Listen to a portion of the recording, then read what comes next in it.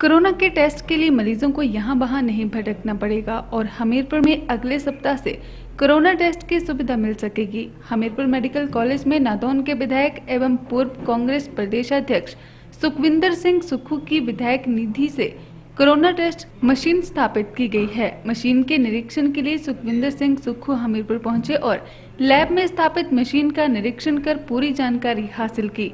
सुखू ने खुशी जताई कि अगले सप्ताह से कोरोना टेस्ट हो सकेंगे और इसके साथ ही खांसी, बुखार के भी टेस्ट हो सकेंगे। सुखविंदर सिंह सुक्खू ने कहा कि कोरोना मशीन के स्थापित होने से अब लोगों को सुविधा मिलेगी। उन्होंने मेडिकल कॉलेज के स्टाफ का धन्यवाद जताया कि जल्दी से जल्दी कोरोना टेस्टिंग मशीन को स्थापित किया है और अब एक सप्ताह के बाद टेस्ट शुरू होंगे। देखिए, मुझे बड़ी खुशी है कि अगले सप्ताह से कोरोना के टेस्ट इस राधा कृष्ण मेडिकल कॉलेज में शुरू हो जाएँगे।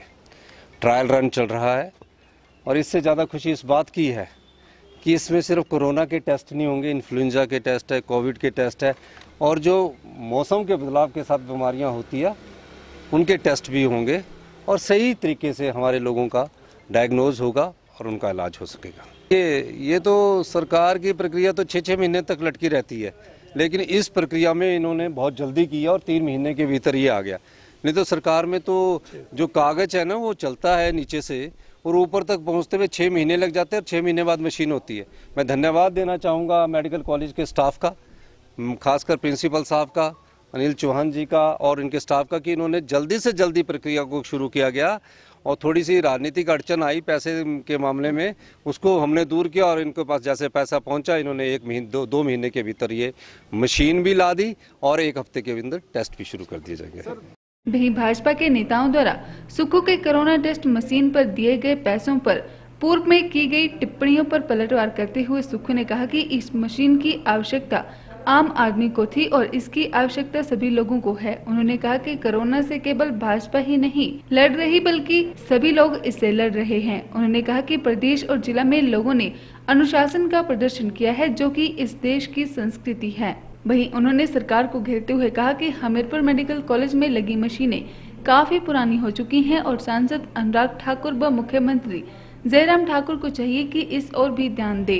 उन्होंने कहा कि अगर नए उपकरणों के लिए आगे भी कुछ करना पड़े तो कांग्रेस पीछे नहीं हटेगी। देखिए मेरे को भारतीय जनता पार्टी के नेताओं को कुछ नहीं कहना है। मुझे सिर्फ़ इतना कहना है कि कोरोना की महामारी से सिर्फ़ भारतीय जनता पार्टी के कार्यकर्ता ही नहीं लड़ रहे हैं। उसमें कांग्रेस के कार्यकर्ता भी है, आम जनता भी है। अगर यहाँ अनुशासन रहा है लॉकडाउन के समय तो ये हमारे देश की संस्कृति में अनुशासित होकर ही उस लड़ाई को लड़ने की सुविधा मिलती है। और इस प्रकार की राजनीति करना कि हमीरपुर से मैंने तो चुनाव नहीं लड़ना। अगर मैंने हमीरपुर से चुनाव लड़ना होता तो मैं मशीन की बात करनी करता। पर इस महामारी के लिए सब लोगों को ये चीज़ की ज़रूरत थी। और ज़रूरत के कारण, इस ज़रूरत के कारण हमने ये चीज़ यहाँ दी, क्योंकि मेडिकल कॉलेज जो है, वो मेरे मेरी समझ में आया कि मुझे एक ऐसी मशीन देनी चाहिए ताकि हमारे लोगों को ये पता लग सके कि इसमें से किसको कोरोना और किसको नहीं है। अगर किसी को कोरोना तो उसको रोका जा सके और वो आगे परिवार को कोरोना पीड़ित ना करे। तो इस संदर्भ में हमारी सोच आई, अब उन लोगों को भी अच्छा काम करना चाहिए। अभी हॉस्पिटल में आपका सिटी स्कैन पच्चीस साल पुराना है, जिसमें ठक ठक करके चलता है। अब वो सरकार में है, अनुराग ठाकुर जी भी सरकार में हैं और जयराम जी भी सरकार में है। यहाँ अब फोर डी की अल्ट्रासाउंड की सुविधा होनी चाहिए सिटी स्कैन लेटेस्ट होना चाहिए, वो तो अभी तक हॉस्पिटल में दे नहीं सके। हम कोशिश करेंगे कि उसमें भी हम इनको सुविधा उपलब्ध करवाए, चाहे विधानसभा के मंच पर बात उठानी पड़े या किसी के थ्रू सीएसआर के थ्रू कोई फंड दिलाने की ज़रूरत होगी, उसके लिए भी हम संघर्ष करेंगे, क्योंकि ये मुझसे संबंधित नहीं है, आप लोगों से भी संबंधित है, आम जनता से भी संबंधित है। ठाकुर कौल सिंह के द्वारा पार्टी को दो फाड़ करने के मुद्दे पर सुख ने बात को टालते हुए कहा कि इसमें इस बात का जवाब देने का नहीं है और इसमें आने पर इस मुद्दे पर पत्रकार वार्ता करके स्थिति स्पष्ट की जाएगी। आज सिर्फ़ कोरोना की बात करने के समय है और अभी आके आने के समय प्रेस कॉन्फ्रेंस करेंगे, हम आपको पूरा जवाब देंगे।